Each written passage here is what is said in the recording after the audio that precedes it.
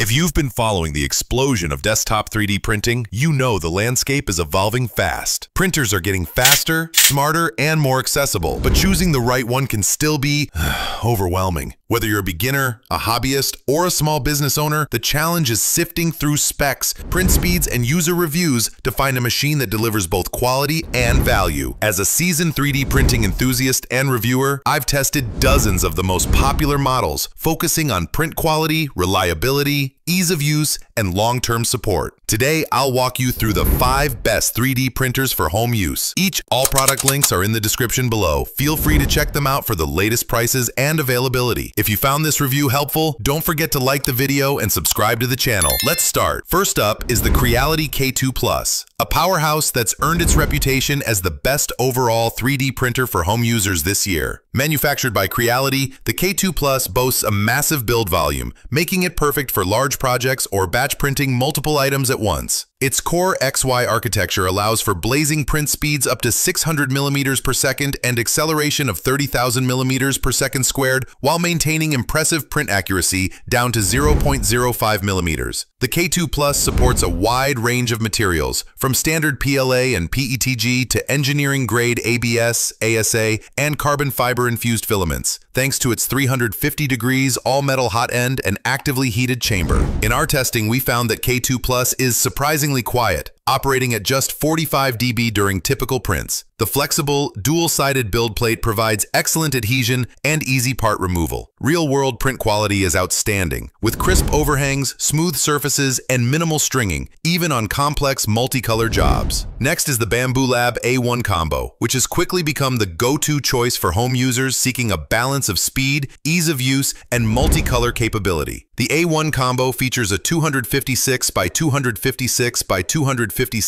millimeter build volume and prints at speeds up to 500 millimeters per second, with automatic calibration of Z offset, bed leveling, vibration resonance, and nozzle pressure before every print. It supports PLA, PETG, and other common filaments, and the combo version includes the AMS lite system for seamless multicolor printing. Standout features include a quick swap nozzle, active motor noise canceling, and a reinforced insulated heat bed cable for durability. The frame is sturdy and compact, and the printer is notably quiet, making it suitable for home environments. The magnetic build plate ensures reliable adhesion and easy removal. Next we have Prusa MK4, which is the gold standard of home 3D printing for good reason. With speeds up to 300 millimeters per second and layer resolution down to 50 microns, it handles detail-heavy prints with ease. It is compatible with a wide range of filaments. The MK4 is a workhorse for makers and small businesses alike. It ships semi-assembled, making setup easier for beginners while preserving modularity for advanced users. The printer's frame is built from CNC machined aluminum, giving it both rigidity and longevity. Operating noise is minimal, thanks to its quiet mode profiles. The textured steel sheet bed and auto bed leveling ensure strong adhesion and reliable first layers. Prusa's slicer software is one of the best in the industry, and firmware updates are frequent and robust. At number 4 on our list is FlashForge Adventurer 5M, which is a high-performance home 3D printer designed to deliver professional-grade results with user-friendly operation. It boasts an impressive maximum print speed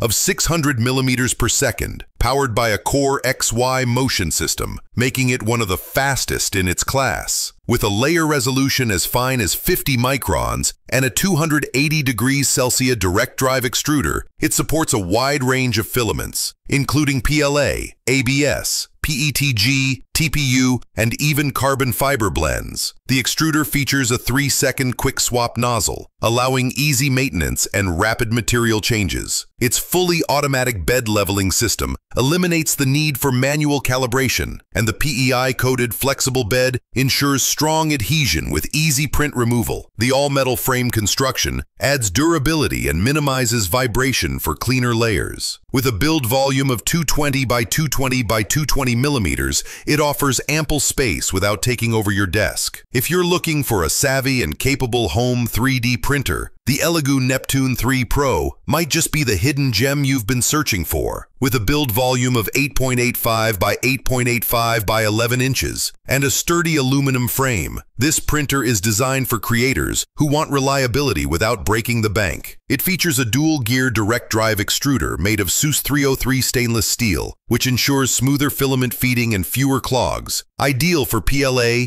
TPU, PETG, and ABS. Its fully automatic bed leveling system, with 39 individual sensor points, guarantees a consistent first layer every time. The Neptune 3 Pro prints quietly, thanks to stepper motor drivers that reduce noise to under 48 dB, making it perfect for a home or office setup. The removable PEI-coated magnetic bed offers excellent adhesion and easy print removal. Add in the capacitive touchscreen, Z-axis dual-lead screws, and a powerful cooling system, and you've got a user-friendly high-precision machine. When comparing these printers, several technical criteria stand out. In terms of print quality and accuracy, the Bambu Lab A1 and Creality K2 Plus lead the pack, delivering professional-grade results with minimal tuning. The FlashForge Adventurer 5M Pro is the most beginner-friendly with a gentle learning curve and robust safety features. All five printers feature automated bed leveling, intuitive user interfaces, and compatibility with popular slicing software, ensuring a smooth setup and printing experience. Which 3D printer are you most excited to try? Drop your questions or experiences in the comments and don't forget to subscribe for more hands-on reviews and 3D printing tips.